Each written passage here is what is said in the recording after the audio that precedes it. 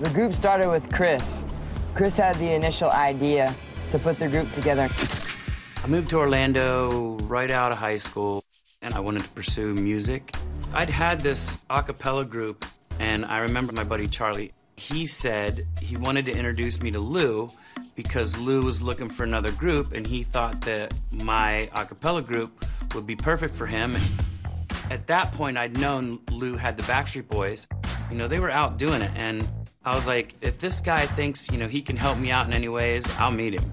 And so right away, I was totally in. Chris Kirkpatrick had the idea, but Lou, Lou backed him and made this happen. The first band that I brought to Lou, you know, a couple guys would quit.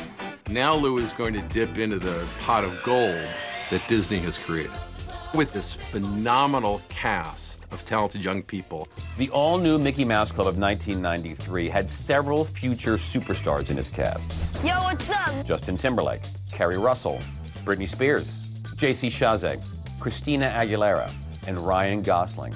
Justin and Britney even performed together, singing I Feel For You.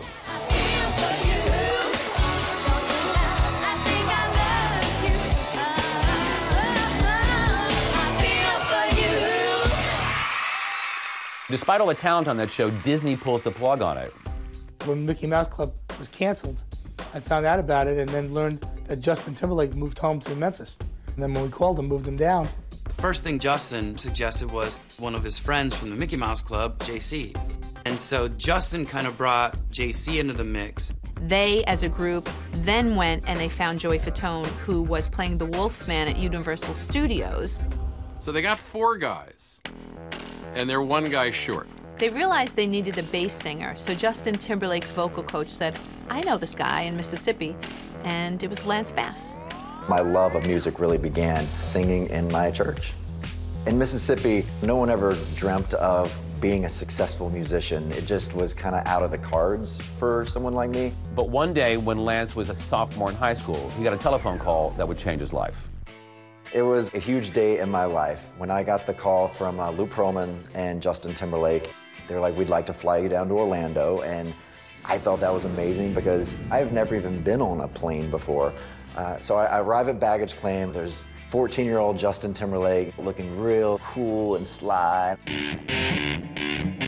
Then you have Lou Pearlman, and they pull up in his Rolls Royce limo. And that's how I'm introduced to this whole world. When you meet Lou, you immediately trust him for some reason. He had this very jolly personality that you just felt like he was family. And from the second that I met him, I really loved him. He just was like this fatherly figure that we never had any worries around him because, you know, financially, he was the money guy. I mean, everywhere we went, he was like, oh, I'll buy this, I'll do this, I'll do this. My mom didn't want me to do the group because she didn't know exactly what this was, if I was going to be taken advantage of.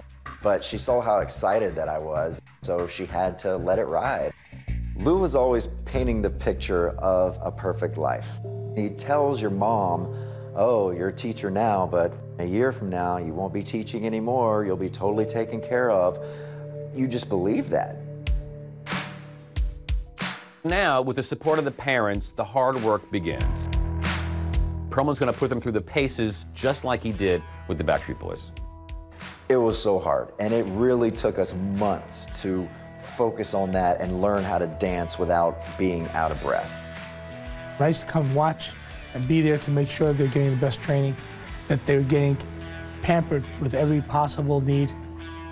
That was what I did.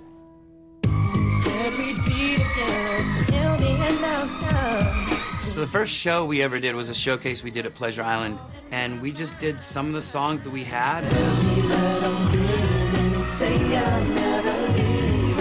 And somehow word gets back to Johnny Wright that Pearlman has a new boy band. So I called Lou and I was like, You have another boy band I don't know about? He goes, No, no, no, no, no. He goes, This kid, Chris Kirkpatrick, he wants to put a band together and he just comes to me every once in a while to ask for some advice, but I got nothing to do with that band. It was always like a secret. Like everything was, don't tell anybody about this. Don't say that I'm involved with you. Don't say that you really even know me. It just seemed so shady. In an effort to make himself look even more accomplished, Pearlman starts his own record label, Transcontinental.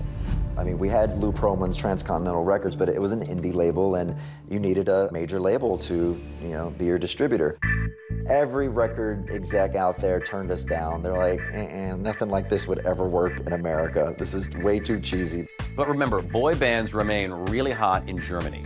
So I called Lou and I said, I know you say you have nothing to do with NSYNC, but if you can find him and we can sign him, I can get him a deal right now. So within two hours, he had me on the phone with Justin's parents. I found them, you know. It always amazes me that NSYNC took almost the exact same route to fame as Backstreet Boys. They too went to Europe. They too went to Max Martin to record. Max Martin writes a song for them, which is called I Want You Back.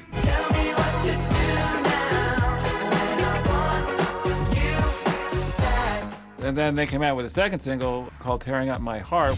When the single hit, it blew up, and we started doing these shows. One of them was called Wetten,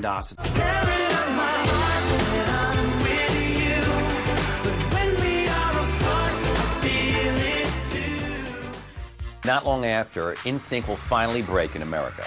Interestingly enough, because the Backstreet Boys turned down a Disney concert special for some reason or other, Backstreet was too busy or couldn't do it. So Disney said, hey, would you guys be interested? And we're all like, yes.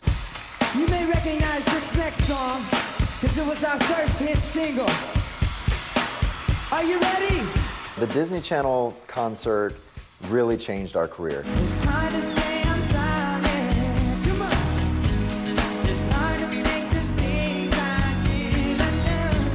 It was incredible. And that one gig right there, to me, is what made us in America. And the Disney Channel plays that concert over and over and over and over again. Backstreet fans were mad. They're like, oh, we can't have another group like this. Almost from the beginning, lines were drawn. Some girls loved Backstreet Boys and hated NSYNC, and some girls loved NSYNC and hated Backstreet Boys. They can move like nobody else. They're better than Backstreet. Backstreet's nothing compared to them. I love you, you yeah! When Backstreet Boys found out that Lou was the manager behind their greatest rival, they were outraged. Lou knew what he was doing because, as he always said, you have Coke and you have Pepsi. This was not the Cola Wars, it was the boy band wars.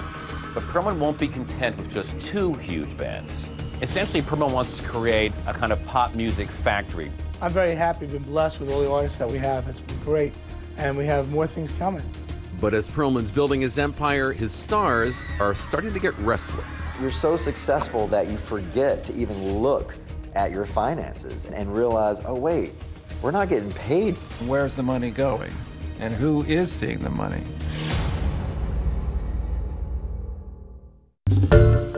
Hi everyone, George Stephanopoulos here. Thanks for checking out the ABC News YouTube channel. If you'd like to get more videos, show highlights, and watch live event coverage, click on the right over here to subscribe to our channel and don't forget to download the ABC News app for breaking news alerts. Thanks for watching.